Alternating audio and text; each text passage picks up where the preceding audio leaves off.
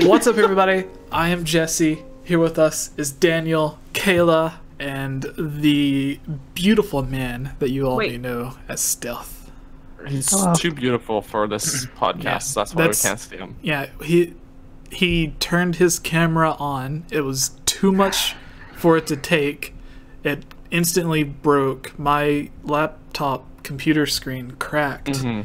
So now we just have to have him on audio. But we are all here to talk about the next Zelda game. We're going to be discussing some of the stuff that we actually do know about it. Interviews from Miyamoto, Fujibayashi, other people who have worked on Breath of the Wild talking about what they would like to do for the next Zelda game, whether that be the next big Breath of the Wild release or smaller A Link Between Worlds style 3DS game, whether it be on 3DS, Switch, whatever. Anyways, uh, most of this news comes from DreamTeamFC.com, where they say link up Zelda sequel, absolutely everything on the next Zelda game, release date, graphics, rumors, Nintendo Switch, Wii U version, and more.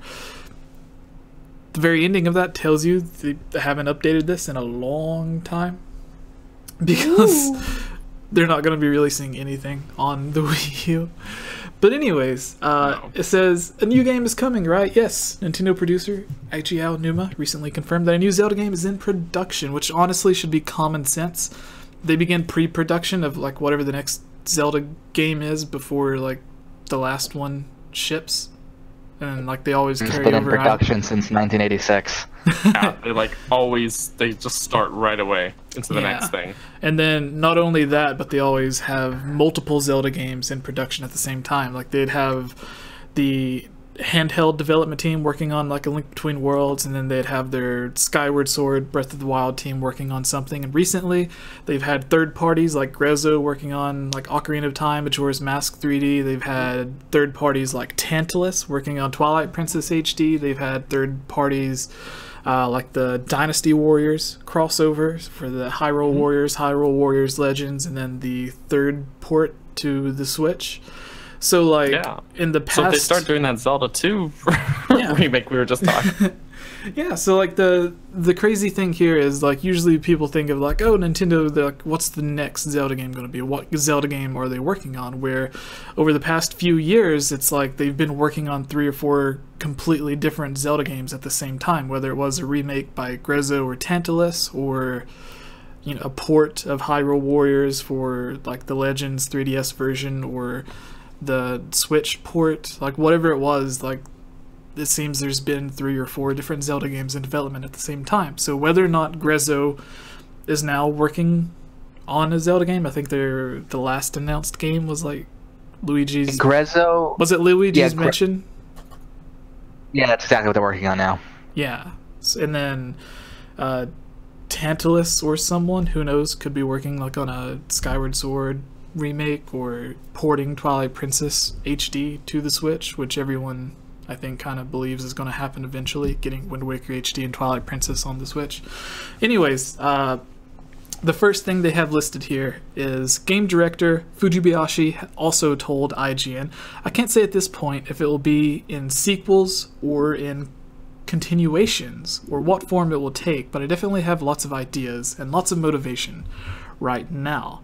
Uh, I think while we while we were working on both the main game and the DLC, it was a process of constantly getting lots of different new ideas as we refined the game and finding new things we wanted to do. Even in situations like this, talking to people and finding out that people want to pet dogs gives me a lot of motivation, a lot of ideas for things we could put into the game.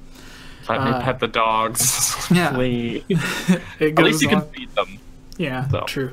Uh, speaking to IGN, Aonuma gave a firm answer when it came to how the team wants to deal with Link games in the future. It's interesting that he said Link games, not Zelda games. I wonder, like, if that's like a. I mean, I guess that's kind Like, of that could just be the way that this article worded it.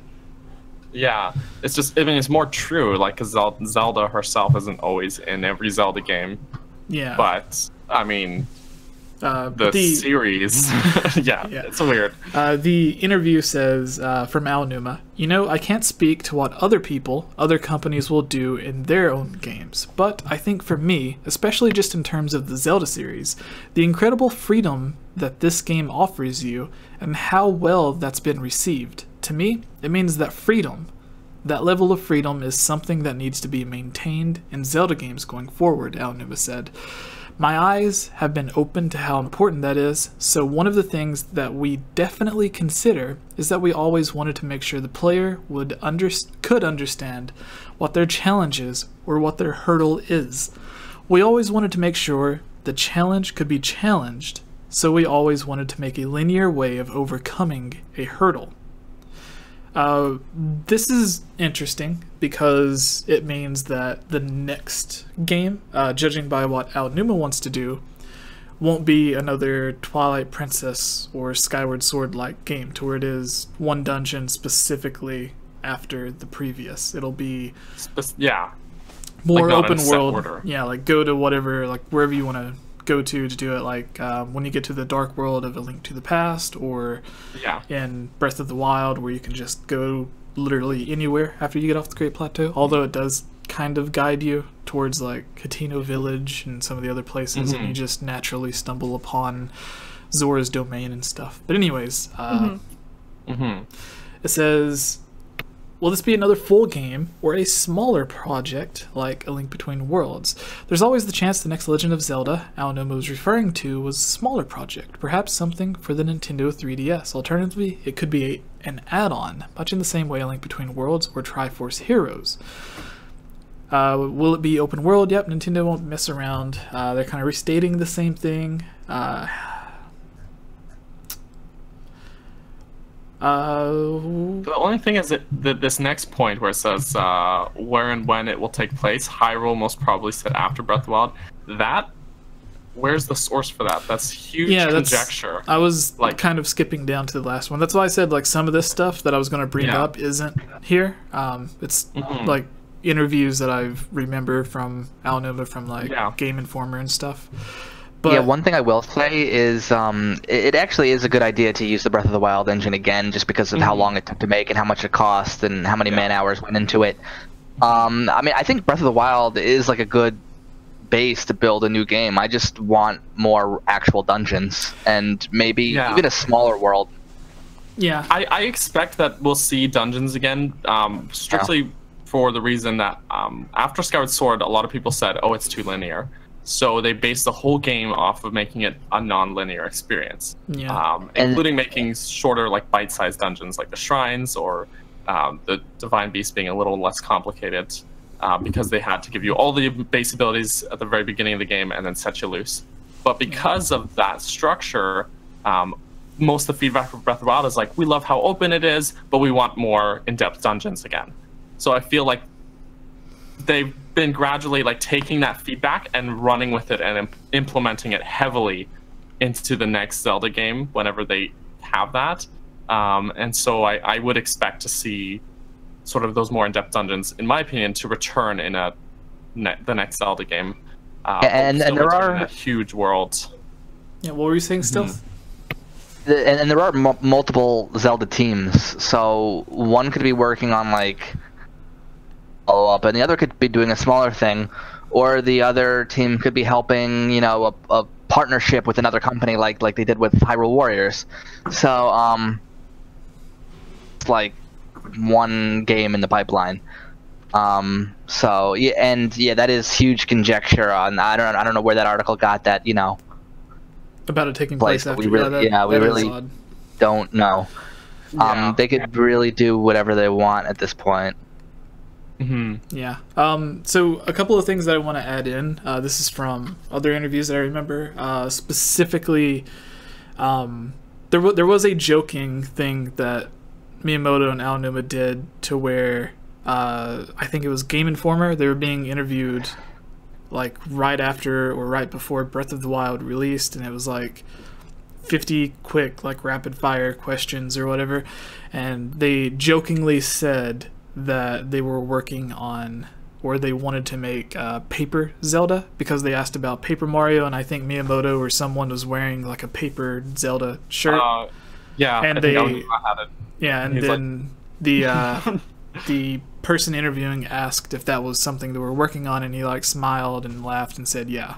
So I, whether that's a joke, who knows? Like the, I think a Paper Zelda game, like for a 3DS type system, like they've had like Yarn Yoshi, uh, Paper Mario. Why not do something weird with Zelda as well, where they had Yeah. like uh, what was the other Yarn game they had? Kirby. Kirby's Yeah. Epic Yarn. So they they've had like the Yarn Yoshi and Yarn Kirby. They've had Paper Mario, so why not make another? Didn't we already? Didn't we already get Paper Link with a link between worlds? Kinda. I think that was the joke that he uh, that Aonuma made because he had a link, yeah, um, which they with the reused in painting link on it. yeah, and they they reused that gameplay mechanic in Mario Odyssey as well, to where Mario Yeah. can pop on the walls, go 2D. Yeah. Yeah, but Which was- only specific walls, so it's a Yeah. little less. Uh, And they yeah, but it, they they copied the uh, the talking hat from Minish Cap as well. It was like they had a bunch of the old Zelda developers working on Mario Odyssey. But anyways, in the I think it may have been the exact same interview um, with Game Informer. Aonuma said that he would like to take what he's learned from Triforce Heroes, which was the multiplayer or the newest multiplayer Zelda game, if you don't count Hyrule Warriors, and apply uh, what he's learned from like the multiplayer of that with the engine of Breath of the Wild. Uh, but Aonuma in the past has said like multiple times that he's he would like to make like a, a larger scale Zelda like multiplayer Zelda game, but it's always for whatever reason come out as like you know 2D Zelda games, which I guess is just easier from a development standpoint and doesn't cost as much. So we had like Four Swords on the or Four Swords Adventures on the GameCube, and then Triforce Heroes on the 3DS. So if he did take that multiplayer aspect and bring it to uh, like a Breath of the Wild sequel or whatever the next Zelda game would be, that would be really interesting. I know a lot of Mhm. people think like multiplayer would ruin the Zelda series, or like, oh, they'd never Mhm. make a 3D multiplayer game. It's like, well, the creator of the game is like, this is what he's saying that he would want, and and it, re- it always reminds me of whenever they first announced Zelda Wii U before it was known as Breath of the Wild. It was during the same Nintendo Direct whenever they announced Wind Waker HD. They were talking about changing the Zelda formula or like what we think of like traditional Zelda games. And one of the things that they said was that he didn't want you to think of Zelda Wii U as a single player experience. Uh, whether that meant um, like adding full on multiplayer like Triforce Heroes or adding in tidbits of multiplayer like we've seen the Miiverse functionality, which in a way lets you communicate with multiple multiple people.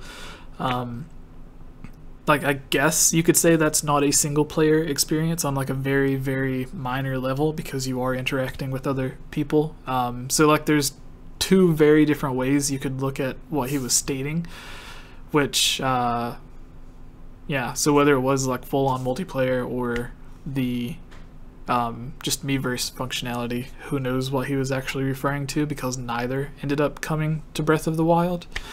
Like it was very prominently a single player experience with like no tidbits of multiplayer. Uh, the closest we got was with Wolflink, who was like an optional character, and it wasn't a second player controlling him, it was the AI.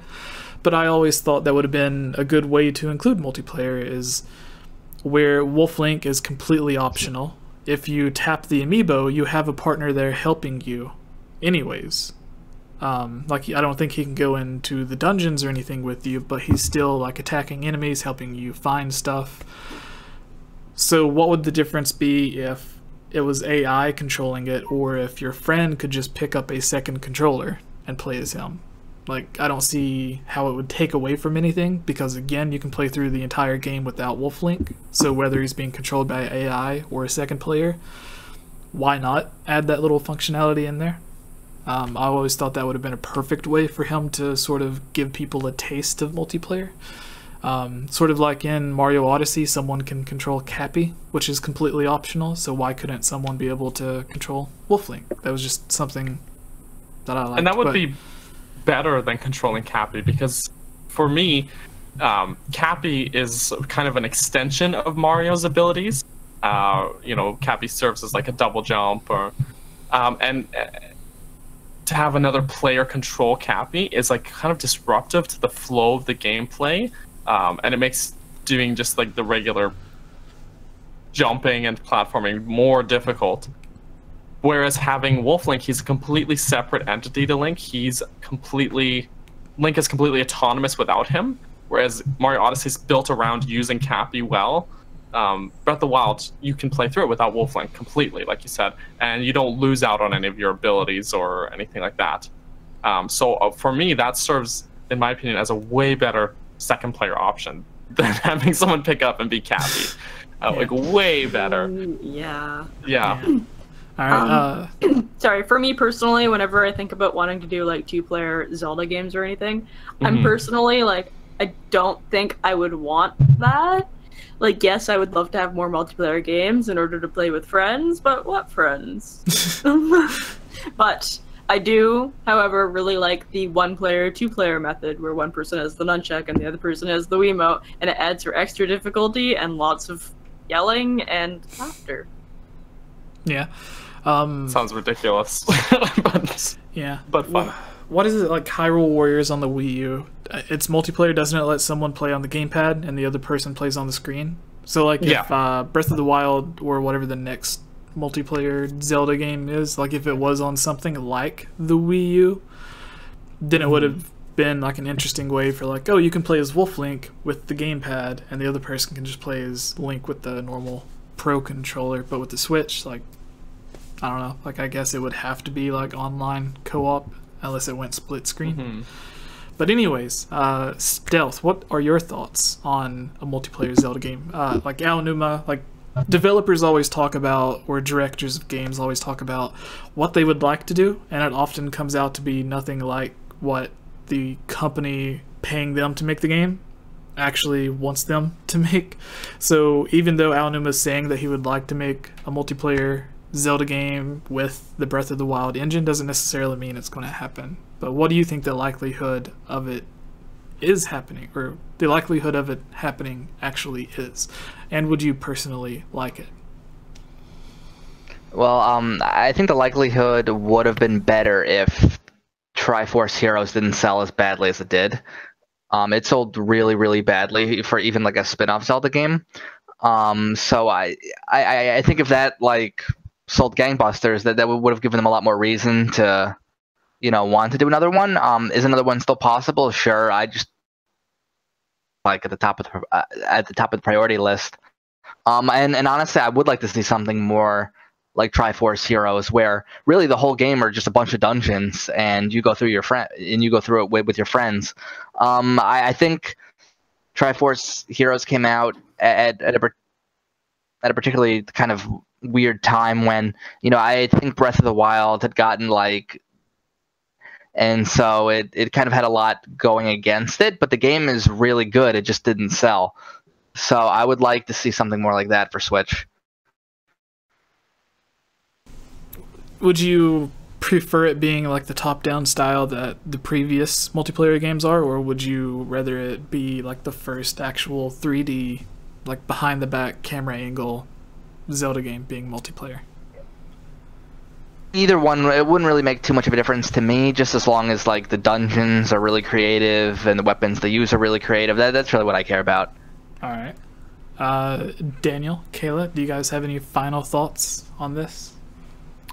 Well, I'm not objectively opposed to multiplayer in Zelda. Um, I think the biggest issue and the reason I, I own Triforce Heroes but I've never finished it is because when playing a game like Breath of the Wild or any other one-player Zelda game, I can sit down on my own time and play it. Whereas trying to play through Four Swords, or Triforce Heroes, or something like, it's not as it's clearly built around playing with other people, and getting those other people together is a far bigger challenge than any dungeon in the game. so um, that makes it more difficult to play through it, and I feel like oh, my gaming is suddenly dependent on other people being present, um, and that just makes it so much more difficult for me to actually get into the game. Um, so I would rather it be like an optional two-player thing where like a second player can come in and you can do co-op, or you know, there are lots of other games that do it. Borderlands being a great example where it's an awesome single-player experience, but it's also a really fun co-op experience. Um, so there's lots of games that do that, and I think if that's something they wanted to do, that would be awesome. But if they build the game completely around co-op, it makes it that that just getting to play the game becomes a hurdle in itself, mm-hmm. and that's a turnoff for me. I was just thinking about the uh, the discussion we did about the uh, like potential or the, the crazy ideas for Nintendo themed um, battle royale. Yeah, the the Nintendo themed battle royale thing. So like where we were talking about multiplayer Zelda games, like it just made me think of the the Pikmin idea that Daniel had.